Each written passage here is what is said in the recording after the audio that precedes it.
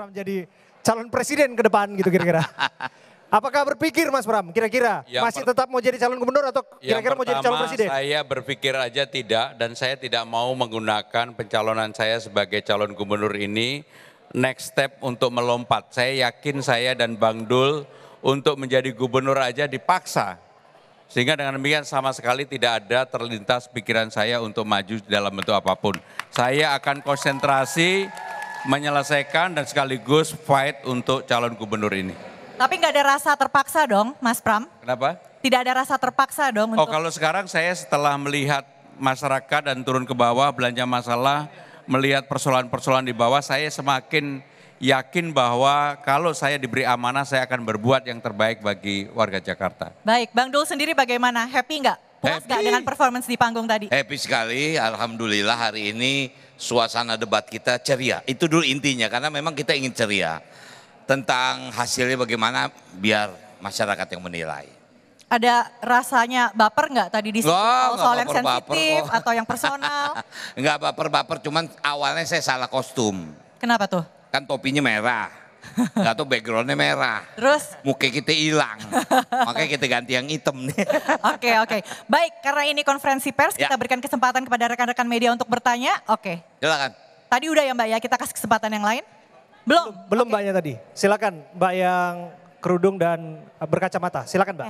Uh, tes, uh, selamat malam. Nama saya Livia dari Media Antara News. Pertanyaan saya yang pertama tadi Bapak mengatakan bahwa akan menyebar CCTV. Namun banyak kasus di mana CCTV rusak atau dicuri oleh warga. Bagaimana upaya untuk mengatasi hal itu? Itu pertanyaan saya yang pertama. Pertanyaan saya yang kedua untuk Bang Dul.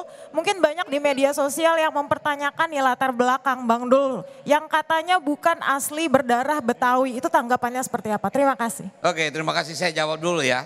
Kamu tahu Benyamin itu orang mana? Nama bapaknya Sukirman. Beliau tuh aslinya bapaknya tuh dari Purworejo. Kawin sama Haji Ung, anak Haji Ung. Artinya kalau kita cari nama asli Betawi mungkin udah susah. Ibu saya Betawi, bapak saya Padang. Tapi saya bangga menjadi orang Jakarta. Mungkin itu tuh jawabannya. Terima kasih.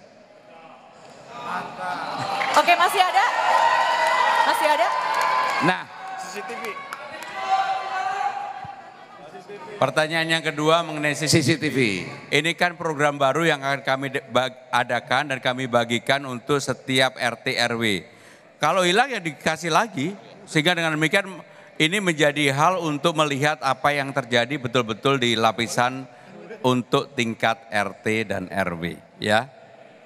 Mas Pram menyambung. Kira-kira daerah mana yang butuh CCTV paling banyak? RT atau RW mana? Karena kan udah sering keliling Ya Jakarta nih. pasti semuanya, tapi memang tidak bisa dihindari ada beberapa daerah yang tingkat kepadatannya tinggi banget.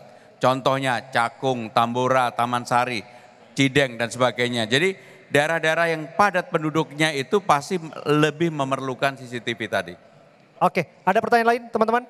Yuk. Ya, Mas Pram, saya Krisna dari Kompas.com. Ingin nanya, eh, tadi saya salvok sama buku catatan yang dibawa Mas Pram itu, itu apa benar buku catatan dan apa isinya? Dan untuk Bang Dul, saya mau nanya, tadi Bang Dul sempat eh, singgung eh, pernah menjadi eh, 10 tahun bekerja di Banten. Nah, eh, kita perlu tahu juga bahwa Banten dan Jakarta ini kan sangat amat berbeda Ya.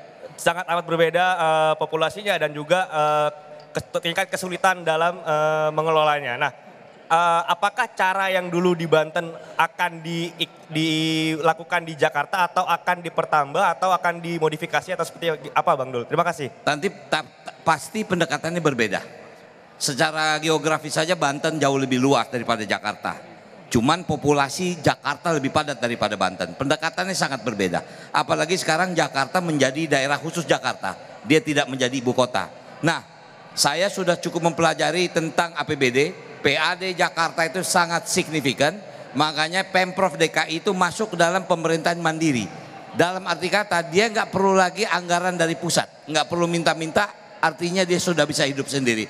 Inilah momennya Jakarta membangun kotanya yang original. Ini awalnya, mungkin itu.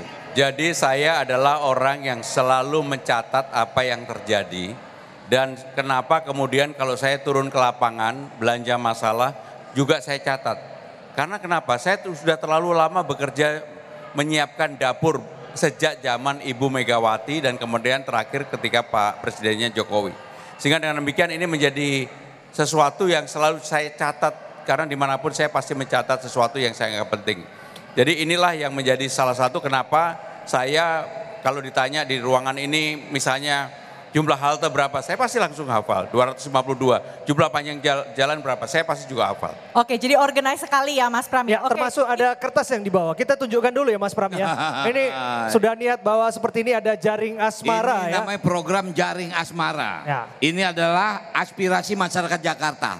Ini kertas ini akan kita bagi sebar ke RT RW sampai ke bawah. Di sinilah nanti masyarakat Jakarta memberikan usulan program apa di wilayahnya. Karena tentu saja setiap wilayah akan mempunyai program yang berbeda-beda. Itu kan Mas? Yes.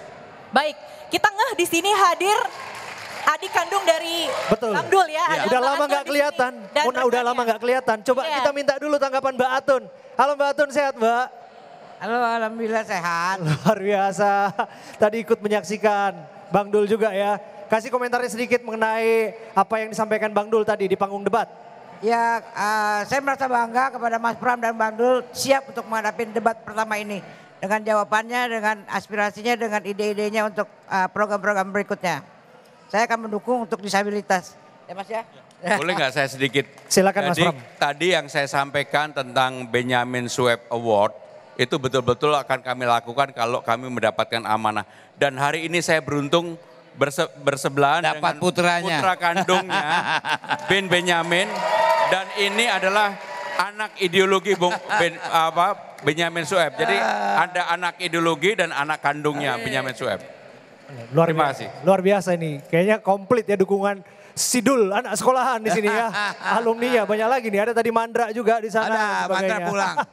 Luar biasa. Ah. Tapi eh, tadi dari keluarga Bang eh, Bang Dul sedikit dari Bu Endang, sedikit Bu Endang. Performa dari Pak Pak Mas Pram. Istri saya ini, bukan keluarga dari Bang Dul, istri saya. Bukan, maksud saya dari dari Mas Pram. Apa yang ingin disampaikan eh, sebagai istri Mas Pram? Silakan. Dia nggak pernah mau ngomong. Justru ini. Medsos saja nggak punya. Enggak, karena kita udah dengar bocorannya. Mas Pram katanya sempat orang yang paling pusing saat Mas Pram untuk maju jadi gubernur adalah istrinya. Betul demikian Mas Pram? Betul, betul. Betul. Nah sekarang kita interogasi. Silahkan Bu, sedikit saja. Setuju. Apa ya? ya saya deg-degan sekali tadi Mas Pram mau maju sama Mbak Dewi. Ternyata jawabannya meyakinkan. Jadi Bangga dong Bu. bangga dong. Luar biasa. Baik, Ini istri saya pertama kali bicara di kamera tanpa, ini pertama kali. AB berhasil ya. Eksklusif, kasih logo eksklusif di sini ya. Baik, terima Oke. kasih. Terima kasih Terima Mas Pram. Terima. Terima kasih Mas Pram. Sukses Mas Pram.